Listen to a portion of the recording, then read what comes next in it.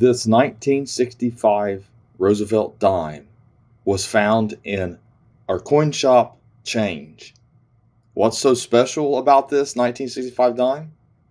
Stay tuned to find out. First, if you find a mint error or have a question about coins or a question about just coins in general, come over here to Coin Help You community, post an image, and ask your question over here. If you're interested in buying coins, we have a website, portsmouthcoinshop.com. We have all kinds of graded coins and ungraded coins, mint sets, proof sets, 90% silver, silver eagles, and just type coins. So if you get a chance, come over to portsmouthcoinshop.com. All right. So Andy was going through our change. He was counting and rolling it up. And the next thing you know, he's like, hold on. Hey, take a look at this. What is this? Is this something? And the clue is right here. It's almost like a hinge. Some of you already know what this is. Now, this is right here by the ear to the rim. It's a scratch. It's not a die crack or anything. It's just a scratch. It's incuse into the coin surface, so it's been scratched. Someone's messed with it because of the fact this coin was, they noticed something different.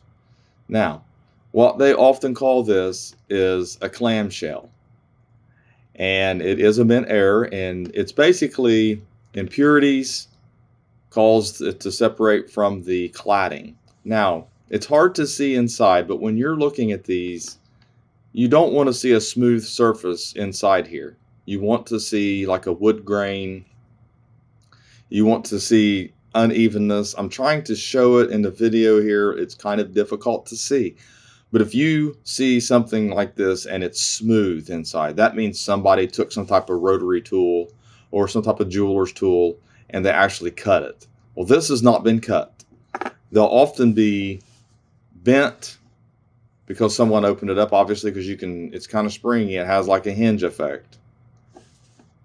And so you know that when you're looking at these, that's what you want to look for.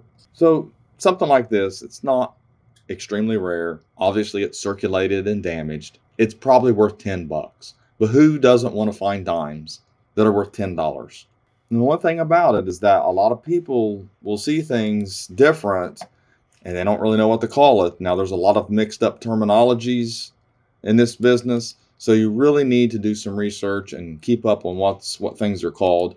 There's a good article over here called uh, it's called clamshell splits and clamshell separations, and they are unrelated because they happen different ways. They're all caused by impurities, but split planchets and clamshells and things like that have a little different cause. So this one's over on Coin World. I recommend just Coin World and type in clamshell splits. This is written by Mike Diamond. He's one of the authors of error-ref.com. He's one of the well-known experts in the field to help clarify the, the finer details of what causes these mint errors and if they are mint errors or not. Uh, you can actually email him through uh, error-ref.com. But anyway, I, I recommend coming over here and reading this so that you know the differences.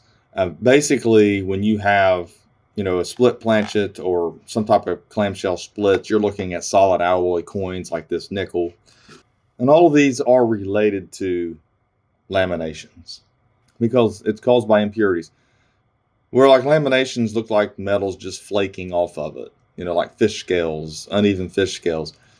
And the deeper it goes into the impurities, into the planchet, it can cause, you know, split planchets and things like clamshells and things like that. They're not exactly alike, don't get me wrong, but it's all related to having impurity somewhere that causes them to split or, you know, peel, things like that. Also, you can come over to Google and do a quick search of clamshell mint error coins and or mint error coin, and you can see all the different ones that are actually graded that will help you understand what you have because there's a lot of examples, but the one thing about it is you want to find graded examples if you can and reputable websites because there's a lot of misinformation out there and confusing information and people using different terminologies for these and appropriate terminologies for these. So therefore you want to do research, you want to go over to Coin Help You and you can post an image. We could do our best to try to explain it to you or help you with it but it's it's really cool. So we found something decent in our pocket change over here at uh, Portsmouth Coin and Currency Company.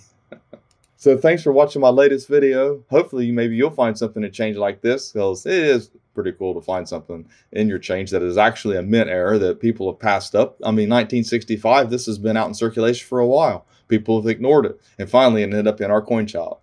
So, thanks for watching my latest video. Please like, share, and comment, and have a great day.